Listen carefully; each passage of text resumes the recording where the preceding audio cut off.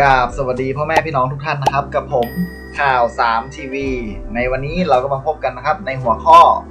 ปฏิทินคนจน หรือว่าปฏิทินบัตรสการแห่งรัฐ ในเดือนพฤศจิกายน 2562 นะครับ ว่ามีเงินอะไรเข้าบ้าง เข้าวันไหน วันที่อะไรยังไงนะครับ ก็ต้องขออภัยด้วยนะครับ วันนี้ก็ล่วงเลยมาวันที่2แล้วซึ่งผมจะได้อัพข่าว อันนี้ก็ น่าวันที่ 2 แหละ อาจจะล่าช้าบางคนอาจจะสงสัยว่าเงินเข้าแล้วนะวันที่ 1 อะไรประมาณนี้ปฏิทินยังไม่มาเลย ก็ไม่เป็นไรครับ เดี๋ยวเราจะมาคุยในรายละเอียดกันนะครับสำหรับใครที่ยังไม่ได้กดติดตามช่องข่าว3ทีวีนะครับ ก็ขอให้กดติดตามด้วยนะครับ ซึ่งพ่อแม่พี่น้องจะได้รู้เท่าทันสิทธิ์นะครับ ว่าพ่อแม่พี่น้องจะได้รับสิทธิอะไรต่างๆนานาบ้างนะครับ ไม่ว่าจะเป็นบัตรสวัสดิการแห่งรัฐ เบี้ยผู้พิการ เบี้ยผู้สูงอายุ เบี้ยแรกเกิดนะครับ ไม่ว่าจะเป็นเงินการช่วยเหลือเกษตรกรหรือว่าอะไรต่างๆ นานานะครับ ก็เข้าเรื่องกันเลยดีกว่านะครับ ไม่รอช้านะครับ ก็ขอบคุณเว็บจาก TVC นะครับที่ให้ความรู้มานะครับ ก็ผมก็ได้หยิบยกมาอ่านให้พ่อแม่พี่น้องฟังนะครับ ถ้าผมอ่านผิดพลาดหรือว่าอะไรผมก็ต้องขออภัยณที่นี้ด้วยนะครับ ซึ่งผมอยากจะให้ข้อมูลที่เป็นสาระน่ารู้แก่พ่อแม่พี่น้องจริง ๆ นะครับ ก็เข้าเรื่องเลยละกัน ปฏิทินของเดือนพฤศจิกายน ให้ผู้ถือบัตรสวัสดิการแห่งรัฐ หรือบัตรคนจนในวันไหน เงินเข้าวันไหนได้รับเงินอะไรเพื่อใช้จ่ายอะไรบ้างนะครับ และจะได้รับเงินจำนวนเท่าไหร่นะครับ ก็เริ่มวันแรกเลยครับก็คือวันที่ 1 พฤศจิกายน 2562 นะครับ ได้เงินเท่าไหร่นะครับ เป็นคำถามที่ถามเข้ามาเยอะมากเลยนะครับ ก็วงเงินค่าซื้อสินค้าอุปโภคบริโภค ที่จำนวนสินค้าเพื่อการศึกษานะครับ จากร้านธงฟ้าประชารัฐ 200-300 บาทต่อเดือนนะครับ ไม่สามารถกดเป็นเงินสดได้ไอ้ตรงนี้ 200 บางคนได้ 200 บางคนได้ 300 ไม่เท่ากันนะครับ ก็น่าจะรู้ๆกันอยู่ตอนที่เราลงทะเบียนเน่ยเราเป็นคนจนระดับไหนรายได้เราถึงเกณฑ์เท่าไหร่รายได้เราไม่ถึงเกณฑ์ไหมก็จะได้ต่างกันมาร้อยหนึ่งนะครับ ก็ต่อไปนะครับ ใครได้บ้างนะครับ ก็ผู้ที่ได้บ้างก็คือ ผู้ที่ถือบัตรสวัสดิการแห่งรัฐทุกคนนะครับ หมายเหตุ ผู้มีรายได้ไม่ถึง 30,000 บาทต่อปี ได้คนละ 300 บาท ผู้มีรายได้ไม่เกิน 30,000 บาทต่อปีอ่าขออภัยครับ ผู้มีรายได้เกิน 30,000 บาทต่อปี ได้ 200 บาทนะครับก็สรุปสั้นๆนะครับ 200 300 บางคนได้ไม่เท่ากันนะครับ ตอนที่ท่านลงทะเบียนหรือว่ากรอกเอาไว้อะคือท่านมีรายได้ กรอกเยอะกว่า 30,000 บาทอะท่านก็ได้แค่ 200 แต่ท่านกรอกน้อยกว่าอ่า30,000บาท ท่านก็ได้ 300 นะครับ ก็เริ่มแจกกันตั้งแต่วันที่ 1พฤศจิกา2562 นะครับใครได้แล้วก็สามารถมาบอกเม้นต์กันอีกทีนะครับ ก็อีกข้อมูลหนึ่งนะครับ ก็ค่าเดินทาง ค่ารถโดยสาร สาธารณะ แบ่งเป็นรถเมล์รถไฟฟ้า 500 บาท รถบขส500 บาท และรถไฟ 500 บาท ต่อคนต่อเดือนนะครับ ใครได้ผู้ถือบัตรสวัสดิการแห่งรัฐนะครับ เป็นผู้ได้นะครับได้ทุกคนนะครับ ใครถือบัตรนะ หมายเหตุ ถ้าเกิด 500 บาท ต้องออกเป็นเอ้ยต้องออกเพิ่มเติมเองไหม ถ้าเกิน 500 บาทต้องออกเพิ่มเติมเองไหม ถ้าท่านใช้เกินวงเงิน ท่านก็ต้องออกเองนะครับ เพราะว่ารัฐเขาช่วยแค่ 500 บาทนะครับ มาในส่วนของกลางเดือนนะครับ ก็คือวันที่ 15 พฤศจิกายน 2562 นะครับ ได้เท่าไหร่นะครับ จากรัฐจะเก็บภาษีแว็กจากผู้มีรายได้น้อยเพียง 2%จ่ายเอง 1%ออกออม 1%ใครเป็นผู้ได้บ้างนะครับ ก็ผู้ถือบัตรสวัสดิการแห่งรัฐ แล้วก็ทุกคนที่ใช้จ่ายผ่านบัตรสวัสดิการแห่งรัฐนะครับ มาตรการคืนภาษีมูลค่าเพิ่ม ผู้มีรายได้น้อย จะมีการโอนเงินคืนเข้าบัตรสวัสดิการแห่งรัฐ ทุกวันที่ 15 ของเดือนถัดไปจำนวนแว็กวันที่ 1 ถึง 30 ของเดือน โดยคิดจากยอดใช้จ่าย ซื้อสินค้าและบริการผ่านบัตรสวัสดิการแห่งรัฐ ซึ่งมีหลักเกณฑ์ การคืนแว็ก7%แบ่งเป็น 3 ส่วนดังนี้นะครับ ก็หมายเหตุเลยนะครับ การคืนภาษีแว็กเข้า บัตรสวัสดิการแห่งรัฐจะแบ่งเป็นตามนี้เลยนะครับ ผมได้แบ่งแบบส่วนของข้อใหญ่ๆอะประมาณ3ข้อนะ 1. ผู้ถือบัตรสวัสดิการแห่งรัฐ จะต้องจ่ายภาษี การซื้อสินค้าเองตามปกติอัตรา1% 2. รัฐบาลจะทำการคืน เงินให้ผู้ถือภาษีผู้ถือบัตรสวัสดิการแห่งรัฐ โดยการโอนคืนเข้ากระเป๋าอิเล็กทรอนิกส์นะครับ หรือ e-wallet นะครับ ทุกวันที่ 15 ของเดือนจำนวน 5%ซึ่งส่วนนี้สามารถกดกราบสวัสดีพ่อแม่พี่น้องทุกท่านนะครับ กับผมข่าว 3 ทีวี ในวันนี้เราก็มาพบกันนะครับในหัวข้อ ปฏิทินคนจน หรือว่าปฏิทินบัตรสวัสดิการแห่งรัฐ ในเดือนพฤศจิกายน 2562 นะครับ ว่ามีเงินอะไรเข้าบ้างเข้าวันไหน วันที่อะไรยังไงนะครับ ก็ ต้องขออภัยด้วยนะครับ วันนี้ก็ล่วงเลยมาวันที่2แล้วซึ่งผมจะได้อัพข่าว อันนี้ก็น่าวันที่ 2 แหละ อาจจะล่าช้าบางคนอาจจะสงสัยว่าเงินเข้าแล้วนะ วันที่ 1 อะไรประมาณนี้ปฏิทินยังไม่มาเลย ก็ไม่เป็นไรครับ เดี๋ยวเราจะมาคุยในรายละเอียดกันนะครับสำหรับใครที่ยังไม่ได้กดติดตามช่องข่าว3ทีวีนะครับ ก็ขอให้กดติดตามด้วยนะครับ ซึ่งพ่อแม่พี่น้องจะได้รู้เท่าทันสิทธิ์นะครับ ว่าพ่อแม่พี่น้องจะได้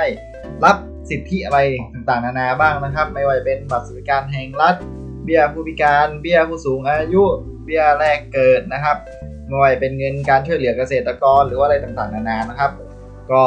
เข้าเรื่องกันเลยดีกว่านะครับ ไม่รอช้านะครับ ก็ขอบคุณเว็บจาก TBC นะครับที่ให้ความรู้มานะครับ ก็ผมก็ได้ หยิบยกมาอ่านให้พ่อแม่พี่น้องฟังนะครับ ถ้าผมอ่านผิดพลาดหรือว่าอะไรผมก็ต้องขออภัยณที่นี้ด้วยนะครับ ซึ่งผมอยากจะให้ข้อมูลที่เป็นสาระน่ารู้แก่พ่อแม่พี่น้องจริงๆนะครับ ก็เข้าเรื่องเลยแล้วกัน ปฏิทินของเดือนพฤศจิกายน ให้ผู้ถือบัตรสวัสดิการแห่งรัฐ หรือบัตรคนจนในวันไหน เงินเข้าวันไหนได้รับเงินอะไรเพื่อใช้จ่ายอะไรบ้างนะครับ และจะได้รับเงินจำนวนเท่าไหร่นะครับ ก็เริ่มวันแรกเลยครับก็คือวันที่ 1พฤศจิกายน2562นะครับ ได้เงินเท่าไหร่นะครับ เป็นคำถามที่ถามเข้ามาเยอะมากเลยนะครับ ก็วงเงินค่าซื้อสินค้าอุปโภคบริโภค ที่จำนวนสินค้าเพื่อการศึกษานะครับ จากร้านธงฟ้าประชารัฐ200-300 บาทต่อเดือนนะครับ ไม่สามารถกดเป็นเงินสดได้ ไอ้ตรงนี้ 200 บางคนได้ 200 บางคนได้ 300 ไม่เท่ากันนะครับ ก็น่าจะรู้ๆกันอยู่ ตอนที่เราลงทะเบียนน่ะ เราเป็นคนจนระดับไหน รายได้เราถึงเกณฑ์เท่าไหร่ รายได้เราไม่ถึงเกณฑ์ไหม ก็จะได้ต่างกันมาร้อยหนึ่งนะครับ ก็ต่อไปนะครับ ใครได้บ้างนะครับ ก็ผู้ที่ได้บ้างก็คือ ผู้ที่ถือบัตรสวัสดิการแห่งรัฐทุกคนนะครับ หมายเหตุ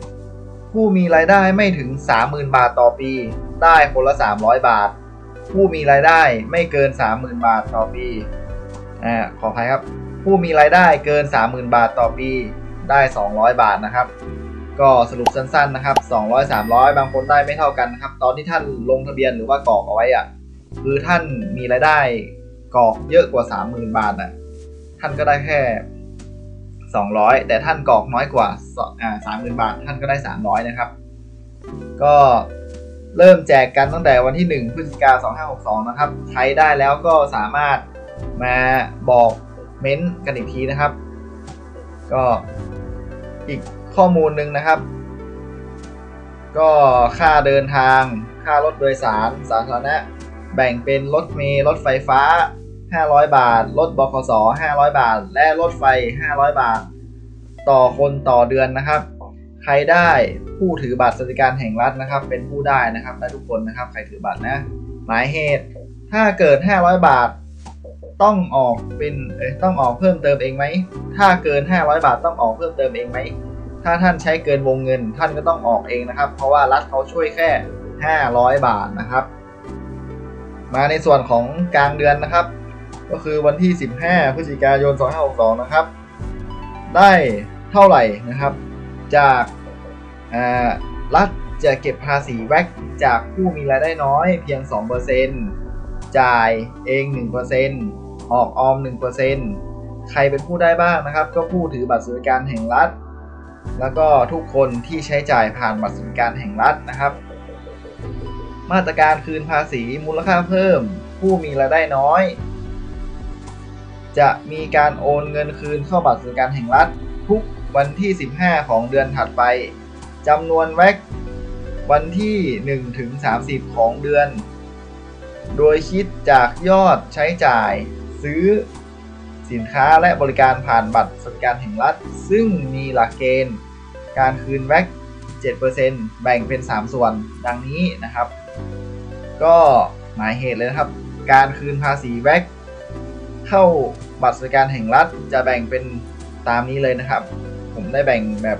ส่วนหัวข้อใหญ่ๆอะประมาณ 3 หัวข้อนะ 1. ผู้ถือบัตรสวัสดิการแห่งรัฐ จะต้องจ่ายภาษี การซื้อสินค้าเองตามปกติอัตรา 1%